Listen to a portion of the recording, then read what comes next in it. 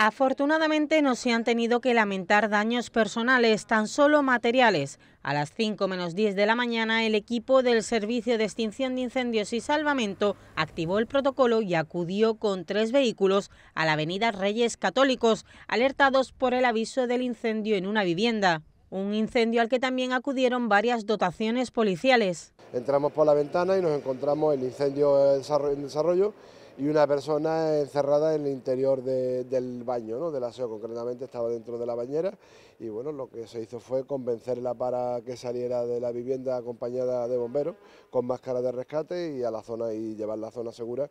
La mujer había llenado la bañera de agua y se había metido en su interior encerrándose en el cuarto de baño. Una vez en el exterior, fue atendida por los servicios sanitarios y conducida hasta el hospital universitario y hay una persona de por medio, una vida, pues siempre resulta peligroso. ¿no? Eh, son los incendios que no queremos encontrarnos, los que hay personas y son los primeros y los que intentamos atender lo más rápido posible. A las 7 de la mañana volvía a salir humo de la vivienda y alertaba a los vecinos, sin embargo no era más que una pequeña ignición en una librería. Hasta este momento se desconoce el origen del incendio que se ha desarrollado en dos partes de la vivienda, una de ellas el salón.